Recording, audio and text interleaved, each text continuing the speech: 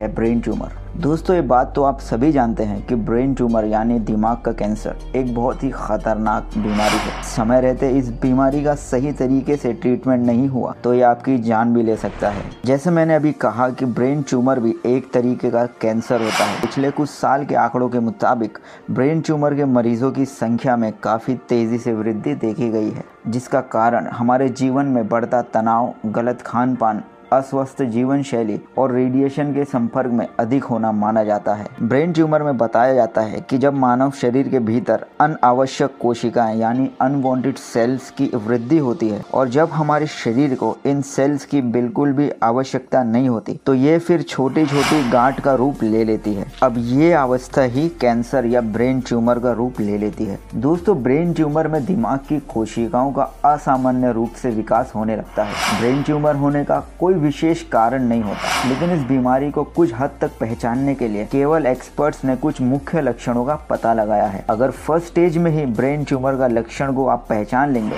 तो इसका इलाज करवाया जा सकता है। और इससे बचा जा सकता है। तो आज हम आपको be healthy and live healthy की तरफ़ से कुछ विशेष ब्रेन ट्यूमर के लक्षणों के बारे में बताएँगे, जिनका जानना आपके लिए बहुत ही ज़रूरी है।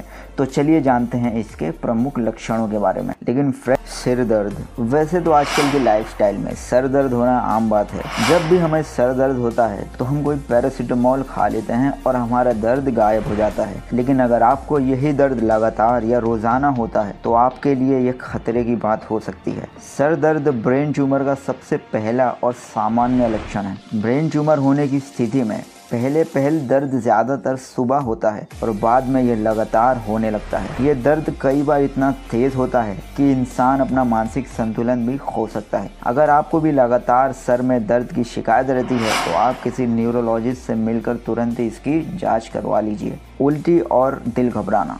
ब्रेन ट्यूमर का दूसरा लक्षण है कि इसमें सिर दर्द के साथ उल्टी शुरू हो जाती है। कभी कभी सिर दर्द होने पर पूरे दिन दिल घबराता है और कुछ भी खाने पीने का मन नहीं करता। सिर दर्द की तरह ही ये लक्षण भी पहले पहले सुबह ही दिखता है और बाद में इसका प्रभाव बढ़ जाता है। शरीर का संतुलन बिगड़ना। ब्रेन ट्यूमर होने पर अक्सर चक्कर आता है और कई बार चक्कर आते आते आप गिर भी सकते हैं। दरअसल, ब्रेन ट्यूमर अगर आपके सेरिब्रम में होता है तो ये शारीरिक संतुलन को प्रभावित करता है। इस कारण से कई बार चलते फिरते हुए शरीर का संतुलन बिगड़ जाता है और इंसान गिर जाता है।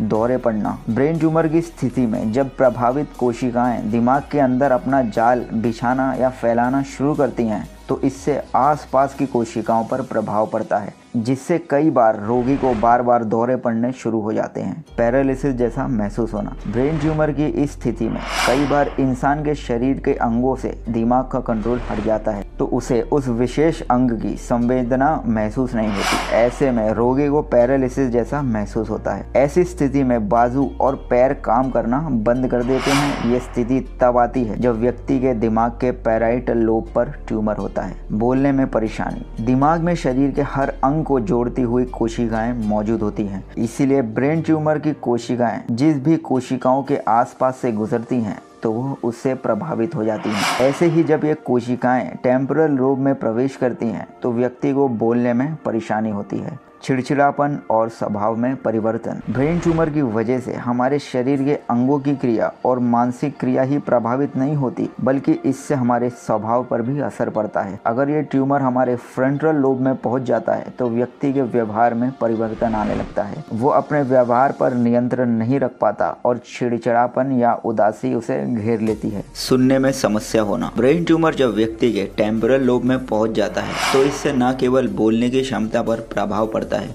बल्कि इससे व्यक्ति को सुनने में भी परेशानी होने लगती है। ऐसी कंडीशन में जब ट्यूमर टेम्पोरल लोब में पहुँच जाता है तो व्यक्ति की अचानक ही सुनने की क्षमता कम होने लगती है। हाथ पैरों में ऐठन। दोस्तों, हाथ पैरों में ऐठन होना, ये पैरालिसिस का पहला स्टेज होता है। ट्यूमर सेल्स का प्रवेश जब पैराइटल लोब में होने वाला होता है, तब ऐसी स्थिति आ जाती है, जिसमें अचानक से व्यक्ति के हाथ पैर अकड़ने लगते हैं। उसे ऐसा महसूस होने लगता है, जैसे उसके शरीर के सभी अंग निष्क्रिय हो रहे हैं। और आखिरी मांसपेशी संबंधित परेशानी। ब्रेन ट्यूमर की पहचान किसी व्यक्ति में मांसपेशियों से संबंधित समस्या भी हो सकती है, जैसे आपको इस दौरान चलने में परेशानी, मांसपेशियों में कमज़ोरी, शरीर के एक तरफा हिस्से में कमज़ोरी महसूस होना, या हाथों और पैरों की कमज़ोरी आदि परेशानियाँ हो सकती हैं।